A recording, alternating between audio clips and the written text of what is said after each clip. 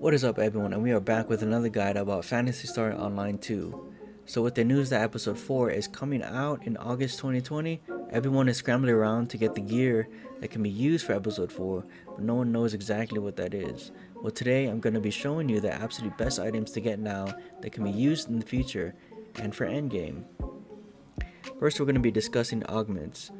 Augments are these stats right here.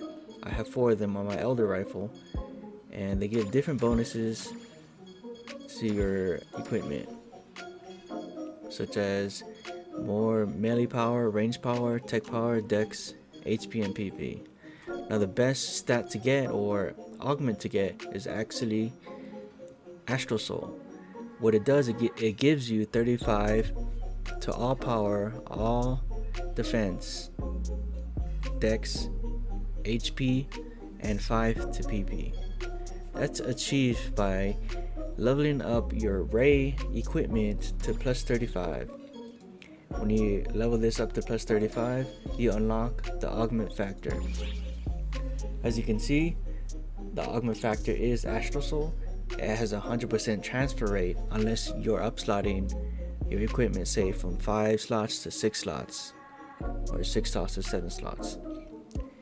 It gives you 35 health, 5 PP, and 35 to everything else. Now this augment is actually an endgame augment. It can be used for episode 5 and episode 6. So currently it is the best augment to get right now. But in order to get your ray launcher to plus 31, plus 32, up to 35, you have to have more ray launchers. Each level requires one more ray launcher, so you need a total of six ray launchers to get to plus 35. But in later episodes, when ray launchers and ray series they're, they're dropped by mobs, they can be rolled up to a maximum of plus 34 enhancement level. As you can see, mine is only a level 30 maximum, this can be up to 34 when it's dropped, but it's random from 30 to 34. And in order to get uh, Ray series right now, you can either buy it on the market or you can get it through Rising Weapon Badges, and those are acquired through the Mission Pass right here. Rising Weapon Badges 2. Those are the ones you need, not one. You need a hundred of these in order to get one ray launcher. So use do your missions and quests in order to unlock all these because that's going to be useful later on in the game. Some of you might ask about what about Apprentice Soul? But Apprentice Soul only gives you 40 to all attack. It doesn't give you any defense, no dex, no HP or PP.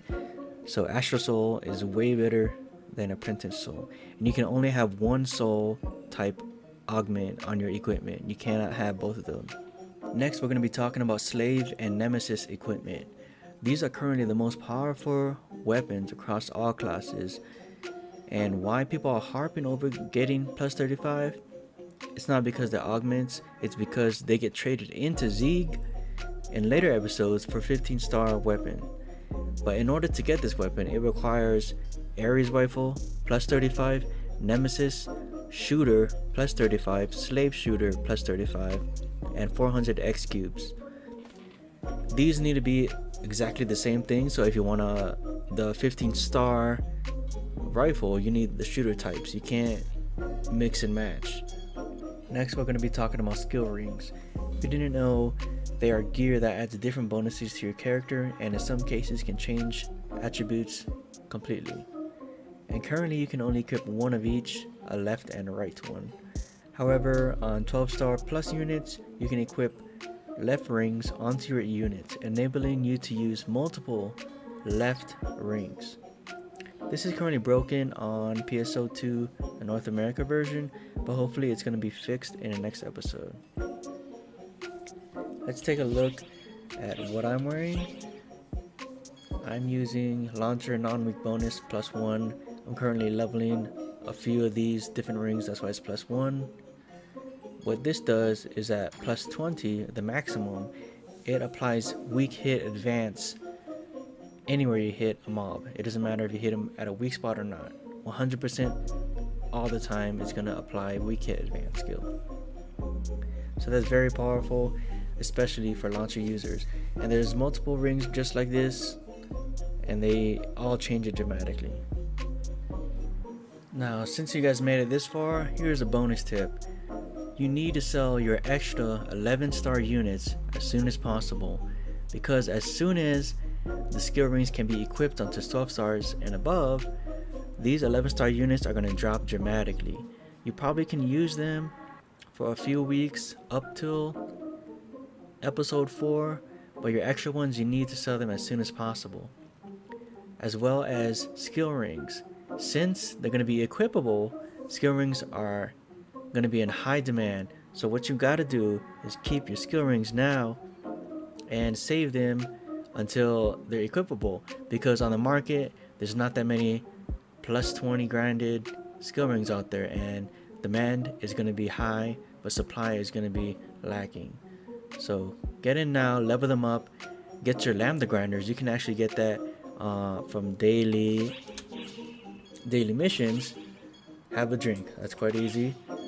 I actually finished mine. Done. And if you have multiple characters, you can get 3 per day per character, up to 252 if you have 12 characters, and I believe 62 or, or 64 for 3 characters a week. And that's it. So to recap, get array equipment to plus 35 for Astral Soul augment, and try to get mark augments if possible get plus 35 slave equipment and nemesis equipment and upgrade those skill rings for when 12 star units come out. That's it. I hope this video helps you guys out, gives you an insight on what's there to come. And if you like this video, please hit that like button and subscribe for more videos. I greatly appreciate it. Thank you.